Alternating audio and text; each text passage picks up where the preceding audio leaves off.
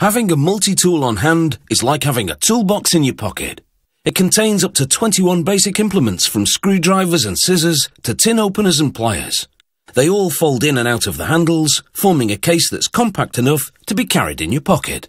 Let's hope it doesn't open accidentally.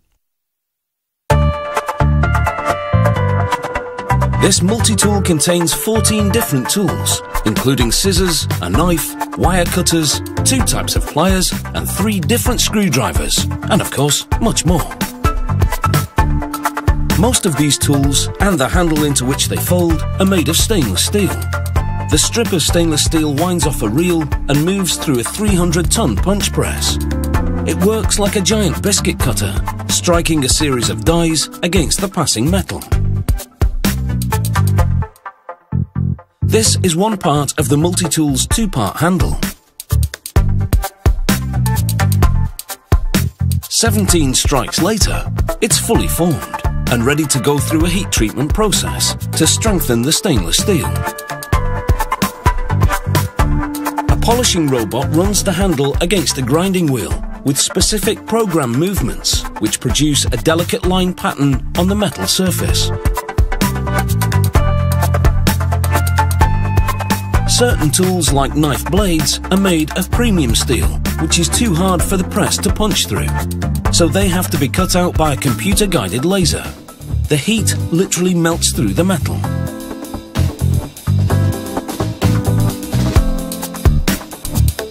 The knife blades go into a polishing machine, where they vibrate amongst ceramic stones for several hours. This smooths out the rough cut edges by abrasion. A magnet then removes the blades from the machine.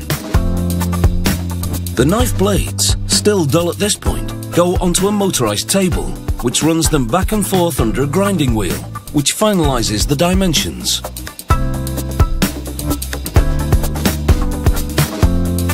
The two jaws which form the plier head are cast in steel. They assemble them with a spring, a pin, and a rivet.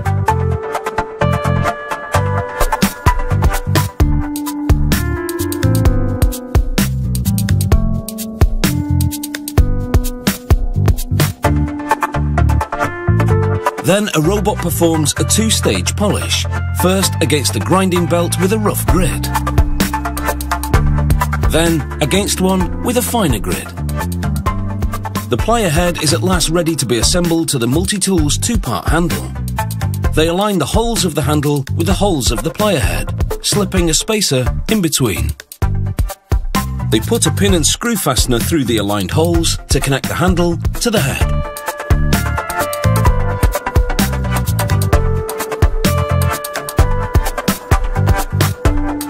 Now back to the knife blade. Until this point, the blade's cutting edge has been dull. Now a robot sharpens it against two grinding wheels. This is what the knife blade looks like before and after. With the handle and all 14 tools formed, heat treated and polished, and with the pliers connected to the handles, final assembly can begin. The remaining tools stacked together inside the two handles with a stainless steel ring to fill up the excess space. In assembly, they thread a rod all the way through the holes at the base of the handle and tools to hold the alignment just until they secure the setup with a stainless steel pin and rivet. They repeat this process in the other handle with the remaining tools, except for the knife blade and scissors, which will go in later. They apply a few drops of thread lock to immobilize the pins in each handle. A bronze washer makes the handle housing the knife blade open smoothly to prevent injury. A safety cover is installed on that same handle to shield the knife when it's not in use.